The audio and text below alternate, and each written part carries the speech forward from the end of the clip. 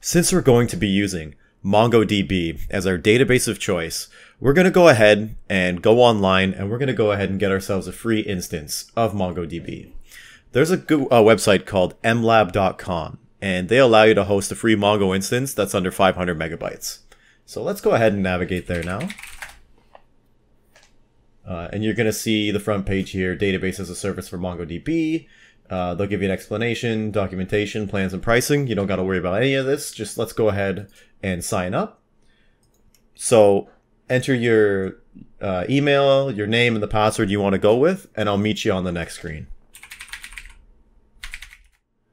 So once you sign up, you should get to this screen right here. And we're obviously going to take the starting at free and create a cluster.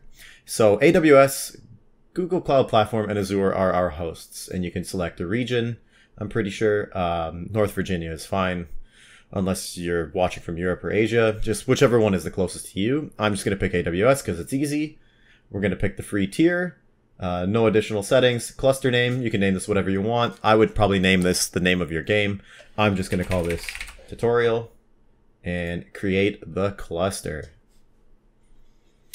So what it's doing right now is it's creating the MongoDB instance for me. So you can see here, it's going to say your cluster is being created. New clusters take between uh, one and three minutes to provision. Sometimes it's faster, sometimes it's slower. So I'm going to go ahead and let this start up. Uh, and you should do the same. And once it's done uh, creating the database for you, we can go ahead and jump into the next screen.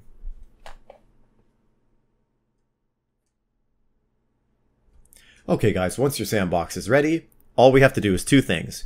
Create a user and add the IP you're currently working with to your whitelist access. So first we can just go to network access. We can add an IP address. Um, you can click this button right here, add your current IP address, and whatever this shows up for you is the current IP you're using now. Or you can do allow access from anywhere, and then you can just say entry from anywhere. We're gonna go ahead and confirm that. So now you can access this database from any IP you want. I don't recommend this. I recommend using a strict access policy. Obviously, wherever the API is going to be, that's the only place you're going to want uh, access to the database from. Anywhere else, it should be completely restricted. That's just for basic security purposes. And then for database access, simply create a new username. I'm just going to call it tutorial. I'm going to say tutorial. Just going to show you that so you can see here, read and write, read and write to a new database, add user. And just like that, your database is ready to go. So if I go to cluster here, um, I just want to see if there's a way for it to give you the uh, Mongo URL to use to connect to it. So give me a second here and I'm going to look for that. Okay, so connect is probably what we have to do.